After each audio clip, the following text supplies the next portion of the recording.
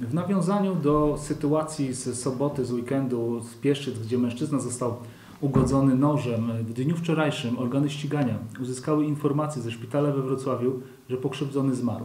Do sprawy zatrzymana była kobieta, która była uczestnikiem tego zajścia. W dniu wczorajszym również doprowadzono w godzinach południowych do tutejszej prokuratury. Przeprowadzono z nią czynności procesowe, przesłuchanie.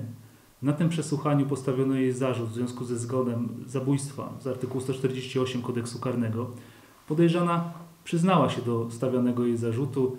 Yy, Nie potrafi do końca, z uwagi na stan, w którym się znajdowała, określić dokładnie okoliczności, w których do tego doszło, jakkolwiek nie przeczy do tego, że mężczyzna został co najmniej dwukrotnie ugodzony nożem w klatkę piersiową.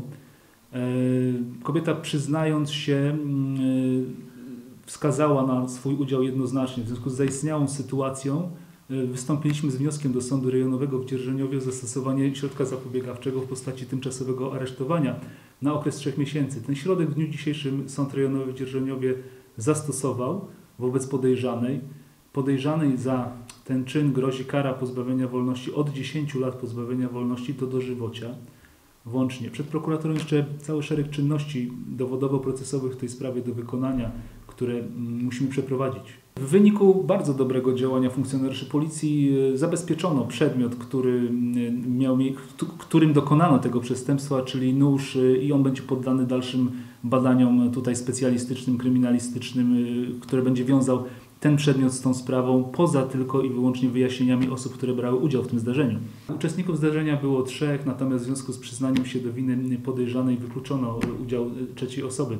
Mężczyzna, który został ugodzony nożem w wyniku nieporozumienia, awantury, do której doszło na tle imprezy alkoholowej, był konkubentem podejrzanej. Zatrzymana podejrzana ma 38 lat i jest mieszkanką Dzierżoniowa, natomiast zmarły pokrzywdzony ma 32 lata e, i tutaj wrócił z zagranicy wraz e, z podejrzaną. Świadek zdarzenia był przesłuchany, złożył odpowiednią relację, no jednak o której z uwagi na dobro prowadzonego postępowania w tej chwili nie będę e, składał szczegółowej relacji. Na tle wyjaśnień podejrzanej nie rysuje się jednoznacznie motyw. Y, Tam chodzi o kwestię nieporozumienia alkoholowego, ale również nieporozumienia w ich związku.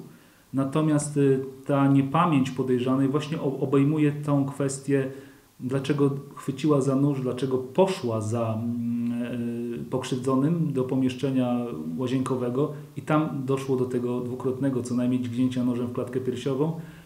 Tutaj nie ma jednoznacznego jeszcze mm, wskazania, dlaczego do tego doszło, poza oczywiście motywem alkoholowym jednoznacznym.